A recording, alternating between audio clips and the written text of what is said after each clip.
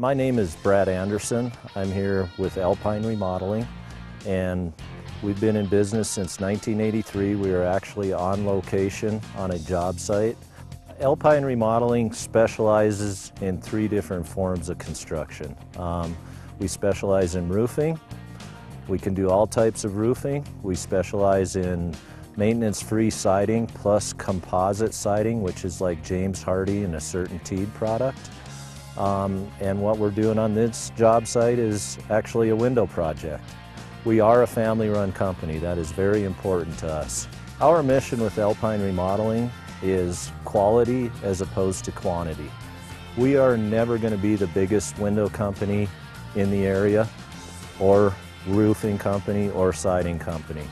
But what we do like to do is give people a very personalized service and the best possible install that you can get.